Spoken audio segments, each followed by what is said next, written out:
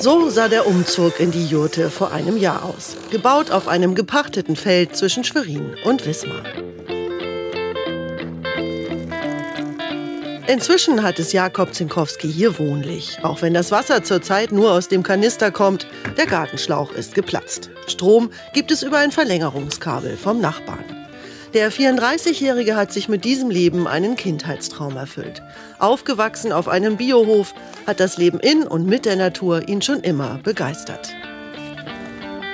Die Jurte, das ist eben das, für mich das Nonplusultra, die absolute Befreiung, weil ich kann damit eben als Normale herumziehen und habe aber trotzdem jederzeit den, also den ganz normalen Luxus, den eigentlich jeder auch äh, sonst so hat in der Wohnung.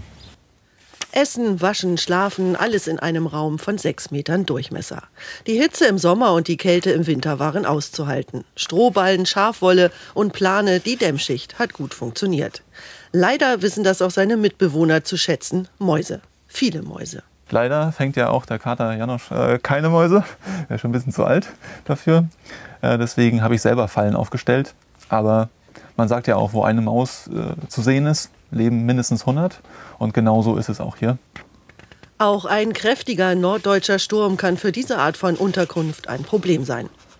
Also mir ist tatsächlich im letzten Frühjahr die Kuppel von meiner Jote weggeflogen. Und das hat mir dann wieder einmal gezeigt, es gibt gewisse Grenzen, was man alles so recyceln kann. Also dieses Upcycling, wovon alle immer sprechen, das habe ich sehr viel hier bei meiner Jote gemacht, mit den ganzen Möbeln und so weiter. Und bei dem Holz und auch bei Schrauben, da hat das so seine Grenzen. Da sollte man vielleicht ab und zu auch mal ja, gutes Holz und neue Schrauben verwenden, dann hält es auch.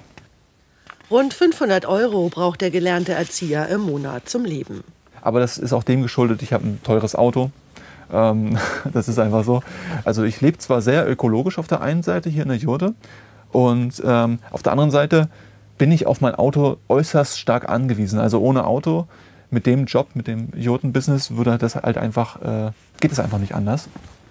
Von daher, ich bin hier nicht das Vorzeigeobjekt quasi. Also ich bin jetzt nicht der perfekte äh, Öko. Auch auf Waschmaschine, Computer oder Handy, auf all diese Dinge will der 34-Jährige nicht verzichten. Und ich sage mir immer, ein bisschen Luxus möchte ich auch haben. Und für mich ist das kein Widerspruch, sondern eine Ergänzung ich möchte ja nicht wie in der Steinzeit leben, ich möchte auch am ganz normalen gesellschaftlichen Leben teilhaben. Ich bin ja ein Teil der Gesellschaft. Für mich gibt es da eigentlich keinen Widerspruch, die modernen Geräte mit dem traditionellen Wissen sozusagen unserer Vorfahren zu verbinden. Seinen Lebensunterhalt verdient sich der gebürtige Wismarer mit dem Jurtenbau. Aus ganz Deutschland, Österreich und der Schweiz bestellen Kunden die Rundbauten bei ihm. Vor allem Familien mit Kindern wollen raus aus der Stadt.